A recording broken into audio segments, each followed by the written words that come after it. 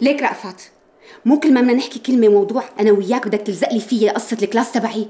أساسا أنت بتعرف إنه أنا أكثر وحدة بعيدة عن هاي الطريقة بالتفكير. لا يا سيدي بالعكس تماما. لما بيتعلق الموضوع بالفخفخة والفشخرة وشوفة الحال على كل البشر وإنه ابنك لازم يكون أهم واحد بكل البشرية فقط لأنه ابنك أنت بتصير أنت أكثر واحد طبقي. صح ولا لا؟ بس الموضوع لما بدنا نحكي فيه على إنك تحط كل قرش بمحله ما بعرف شو بصير لك. بتقلب كلياتك غلط. وهلا شو دخل والله موضوع التهذيب اللي عم بحكي فيه أنا؟ بقصه ال class والما class اللي عم تحكي فيها ولازقني فيها؟ هلا ما رح فوت معك بجدل ما له آخر؟ الشاب منيح وما بيتراقب. إيه ماشي ماشي.